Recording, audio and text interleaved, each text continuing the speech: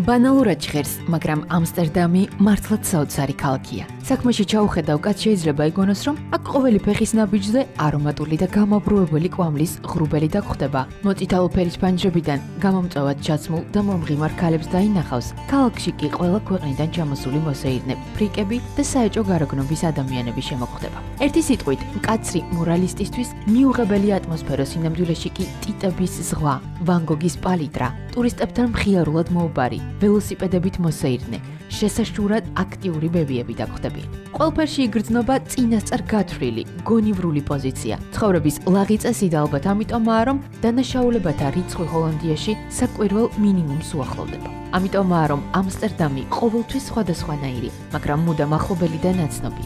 ისეთი ნაცნობი, რომლისთვისაც ცხადია რა გსურს და რა სინადრებ. გართობა გინდა? წადი და ლეიცა პლეინზე გაერთე. ბრეიგელისა და რემბრანტის თაყვანისმცემელი ხარ, მუზეუმების კვარტალში წაბრძანდი. ყვავილების მოტრფიალე ხარ და ეგზოტიკური მცენარეების ბოლქვები გინდა? აგერ კიოკენხოფი და ყვავილების ბაზარია. ამსტერდამი გულს არავის დაწყვეტს, ყოველს მოხიბლავს და თავს შეაყვარებს. პირველივე ჩასვლაზე შთაბეჭდილებას ახდენს ადამი ახდენენ ადამიანები, რომლებიც დაქრიან ველოსიპედით, წარმოუდგენელი სიჩქარით. და აი რაღაცა ესეთია, ლაღი გარემოა, ისე მიმოდიან თავისუფლად და სასიამოვნოა მათი ყურება. ხიდების სიმრავლე არის საოცარი და სილამაზე. პირველი რაც თვალში ხვდება ეს არის ველოსიპედები და არქიტექტურა ქალაქის. შეიძლება არ ვიცი, ბევრ ქვეყანაში არ ვარ ნამყოფი, მაგრამ სადაც ვარ ნამყოფი, აბსოლუტურად ყველა ევროპის და არა მარტო ევროპის ქვეყნებისგან და ქალაქებისგან ამსტერდამის არქიტექტურა არის გამორჩეული. ამსტერდამის სახელი ამსტელდამბიდან მოდის, ანუ დამბა მდინარე ამსტელზე. დღეს ამ დიდარი და აყვავებული რაიონების შემხედვარეს გაუჭირდება იმის წარმოქმნა, რომ მეთევზეთა უძველესი სოფელი ასეთ დახვეწილ და მრავალფეროვან ქალაქად იქცა. ამსტერდამი სულ 750.000 მაცხოვრებელს იტევს და სოფლიო მეგაპოლისებს, რამდენიმე მილიონიან ქალაქებს. მოსახლეობის მიხედვით ვერ შეედრება, მაგრამ მისი მომხიბვლელობაც ამაშია. შეიძლება ითქვას, რომ ამსტერდამი პატარა დიდი ქალაქია. მისი სიდიდე მის არქიტექტურაში, მის ეკოლოგიურ სისუფთავეში, იდილიურ პეიზაჟებში და ინტელექტუალურ მემკვიდრეობაში. ყოველწლიურად მსოფლიოს სხვადასხვა ქვეყნიდან ჩასული უამრავი ტურისტი თქმება ამ სტუმართ მოყარე ქალაქის სილამაზით. დროისაგან ხელშეუხებელი მე-17 საუკუნის არქიტექტურით, მისი მუზეუმებით, რომლის კოლექციებში რემბრანტის, ბრეიგერის, ვერმეერის, რუბენსის, სეზანის, შაგალის, პიკასოსა და სხვათა ტილოებია დაცული. ვან გოგსაც, რომელიც ძირითადად საფრანგეთში მუშაობდა, ნიდერლანდებში თავისად თვლიან და სწორედ ვან გოგის მუზეუმშია განთავსებული მხატვრის ნამუშევრების ყველაზე დიდი კოლექცია. კარგი გარემოა, იგრძნობა რაღაც ვან გოგისეული განწყობა იგრძნობა, საოცარია ზოგადად ამ მხატვრის ბიოგრაფია და შემდეგ მისი ნამუშევრები. ანუ გონია რომ თითქოს აი რაღაცა შეუსაბამობაში მოდის უფრო ისეთი ცხოვრება აქვს და ბიოგრაფია, რაც ნახატებში არ არ გამოიხატება, რა უფრო ლაღი და გახსნილი ნახატები აქვს მით უმეტეს ეს მზესუმზირები, რომელიც რაღაც საოცარია თავის სიცოცხლით, სავსე ფერებით და ფორმებით. ამსტერდამი ოფიციალურად 7 რაიონისაგან შედგება, რომელთა შორისაც ყველაზე საინტერესოს უბრალოდ ცენტრე-ცენტრი ქვია. როგორც წესი, ტურისტები სწორედ აქ ატარებენ თავისი დროის 99%-ს. უფრო ადვილად რომ შეძლოს კაცმა ცენტრის დათვალიერება, საჭიროა თავიდანვე იქონიოს წარმოქმნა ამსტერდამის ისტორიულ კვარტალებზე. ქალაქის გული ძველი აუდზეიცი და ახალი ნივეძეიცია, რომლებიც გარშემორტყმულია გლახტენგორდელის არხებით. მათგან მარცხნივ იორდანის რაიონია, მარჯვნივ დეპლანტაგე და იოდენბიუიურტი, ებრაული კვარტალი. აუდზეიცი, ანუ ძველი კვარტალი, ამსტერდამის ისტორიული ცენტრია. სწორედ აქ მრავალი საუკუნის წინ ჩაეყარა საფუძველი ჰოლანდიის დღევანდელ დედაქალაქს. მის ღირსშესანიშნაობათა შორის უნდა ვახსენოთ აუდეკერკის ეკლესია და წითელი ფანდრების კვარტალი, რომელიც აქ ყველაზე დიდ ადგილს იკავებდა. დიახ, წარსულ დროში ვახსენე, რადგან ამ კვარტალმა წითელი ფანდრების კვარტალს გულისხმობ. ძველი სახით არსებობა უკვე შეწყვიტა. ისა კი გირჩევთ, ღამით ცხოვრობანში წახვიდეთ, რადგან მართალია წითელი ფარნები აღარ მოქმედებენ, მაგრამ ფასები მაინც მაღალია. აუდზეიც ესაზღვრება დამრაკის ქუჩა. ის ქალაქის მთავარი არტერიაა, თუმცა ერთი შეხედვით მოპირდაპირე კვარტლიდან ვერც კი გამოარჩევ. ნივედზეიცი. ახალი უბანი სინამდვილეში არც ისე ახალია, მისი მთავარი ღირსშესანიშნაობა ეკლესია, რომელსაც სავსებით ლოგიკურად ახალი ეკლესია ქვია, 1408 წელს არის აშენებული. ამ უბანს აქვს ის, რითაც ძველი ვერ დაიგვეხნის, რესპექტაბელურობა და მშვიდი ატმოსფერო. ამის გამო ალბათ რომ მას ამსტერდამის ინტელექტუალურ ცენტრსაც უწოდებენ. ნივედზეიცის ცენტრი დამბის მოედანია, მეფის სასახლესთან ერთად. ირგვლივ განლაგებულია ქალაქის მთავარი შოპინგ ხეივნები: კალვეკერსტრატი და ნივენდეიკი. ამ სილამაზეს გრახტენ გორდელი აგვირგვინებს, ამსტერდამის ლეგენდარული რაიონი. მისი სახელი შეიძლება ასე გადმოვთარგმნოთ: არხების სარტყელი ან არხების ქალაქი. 2010 წლიდან ის იუნესკოს კულტურულ მემკვიდრეობათა სიაშიც არის შეტანილი. ამიტომაც სასარგებლო იქნება თუ რამდენიმე აქაური წყლის არტერიის სახელებს დავიმახსოვრებთ. ეს არის ხერენგრახტი, პრინსენგრახტი, კეიზერსგრახტი. ამ არხებიდან შექმნილი სივრცის შუაგულში კაფეები და სასტუმროები, ანა ფრანკის სახლი და დახვეწილი ფორმის ვესტერკერკის ეკლესია დგას.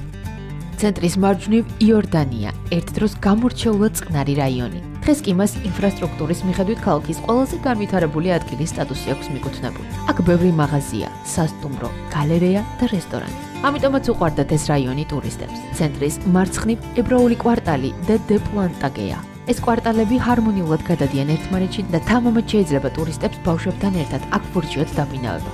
იოდენბიუიურტეში, ანუ ებრაელთა კვარტალში, თვით რემბრანტი ცხოვრობდა. ასე რომ დიდი მხატვრის სახლ-მუზეუმი სწორედ აქ უნდა მონახოთ. ებრაულ კვარტალში, სადაც რემბრანტის სახლ-მუზეუმია, იქაც ვიყავი, ესეთი იქაც განწყობა რემბრანტისეული. თვითონ ძალიან საინტერესო იყო, საინტერესო კონცეფციით არის მუზეუმი გაკეთებული, იმიტომ რომ რაღაცნაირად შეიგრძნობ იქ, როგორია სამზარეულო საწოლი, ძალიან უცნაური საწოლები ყოფილა იმ პერიოდში. მოკლეა ესეთი. და აღმოჩნდა ის, რომ ეშინოდათ ჰორიზონტალურ მდგომარეობაში დაწოლა და იძინებდნენ ნახევრად წამომჯდარები. იმიტომ რომ ეგონაც სისხლი ჩაიქცეოდა თავში. ჰოლანდიაში საშუალება მოგეცემათ დააგემონოთ ზღვის საუცხოო პროდუქტები. მიირთვათ უგემრიელესი ჰოლანდიური ყველი და ბარდის ნოყიერი სუპი. თუ არ გინდათ რომ რესტორანში ან კაფეში დაკარგოთ დრო, შეგიძლიათ ხელდახელი ყიდოთ სტრაფიკვების ობიექტებში ჰოლანდიური ბლინები, კარტოფილი ფრი. თუმცა საღამოს აჯობებს მაინც სადმე ჩამოჯდეთ და შესანიშნავი ჰოლანდიური ჯინი დააგემონოთ. ჰოლანდიურ ნაციონალურ კერძებს რესტორნებში მაინც და მაინც დიდი ადგილი არ უჭირავთ. სამაგიეროდ თითქმის ყველა კაფესა და რესტორანში ფრანგულ, ბელგიურ, იტალიურ, ინდონეზიურ, იაპონურ და ჩინურ საჭმელს გთავაზობენ. აზიური რესტორნების დიდი უმეტესობა ნეივ მარკეტის მოედანზეა თავმოყრილი.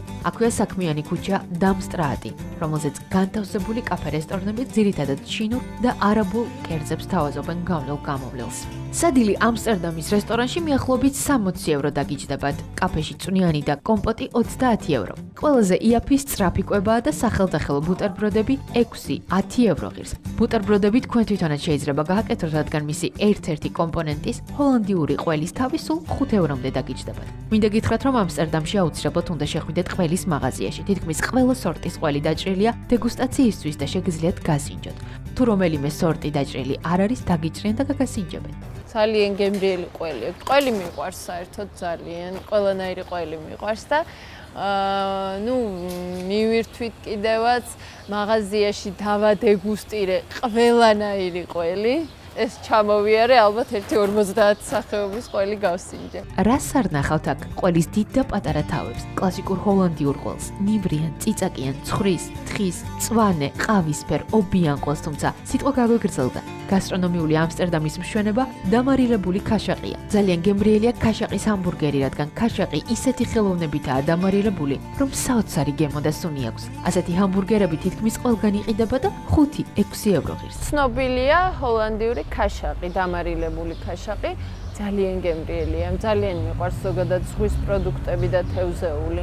ისე გემრიელად ჭამეთ, ყო ჩემთვის მნიშვნელოვანია ხოლმე როგორც წესი სხვა ქვეყანაში რომ მივდივარ, სამზარეულო და ყვება, სინჯავ ყველაფერს აბსოლუტურად და მიყვარს ძალიან განსხვავებული გემოები.